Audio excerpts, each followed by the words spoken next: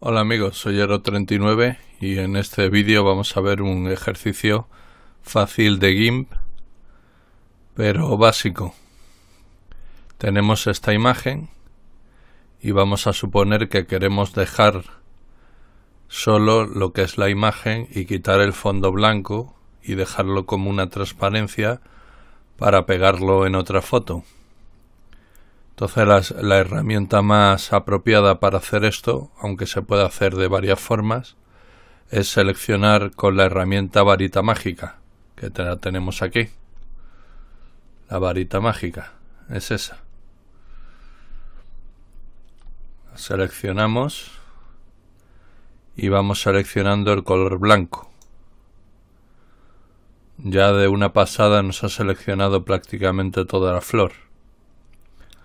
Ahora lo que tenemos que hacer es invertir la selección para que nos seleccione lo inverso, es decir, las hojas, invertir, cortamos y abrimos un nuevo documento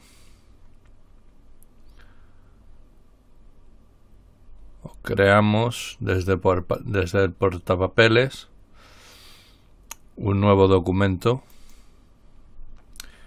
que como vemos ya tiene la transparencia. Pero no hemos caído en el detalle de de la zona central. Nos hemos dejado ahí un trozo en blanco.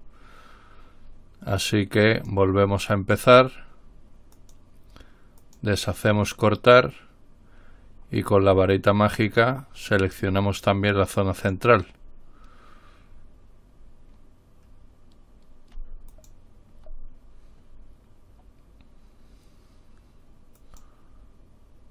Seleccionamos con Shift y sumamos a la selección. Ahora tenemos todo sumado. Ahora otra vez invertimos la selección seleccionar, invertir, cortar,